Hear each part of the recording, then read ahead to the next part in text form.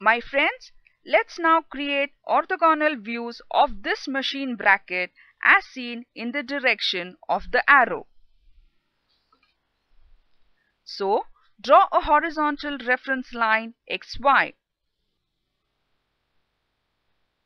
Observe from front side the bracket appears to be a rectangular slot of size 100 mm by 70 mm and its thickness is 15 mm each on the each side.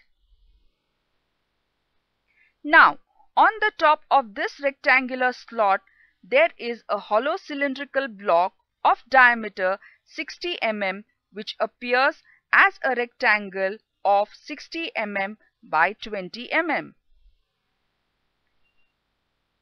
The cylindrical block has inner diameter. There is a through hole of diameter 30 mm. These parts are shown with dotted lines as they are hidden in front view. So this completes the front view of the bracket. Now to construct the top view, project all details from front view below reference line XY. Draw a vertical center line from the center of the rectangular slot. The top view of the rectangular slot appears as a rectangle of size 100 mm by 80 mm. Here we can clearly see the holes in the center of the rectangle.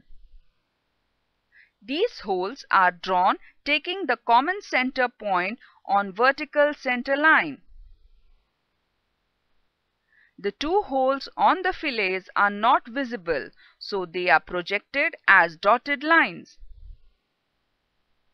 This completes the top view of the bracket.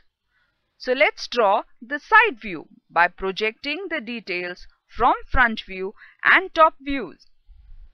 Don't forget to give necessary dimensions. So that was simple, wasn't it? Now you know all the necessary techniques and theory behind orthogonal views of objects.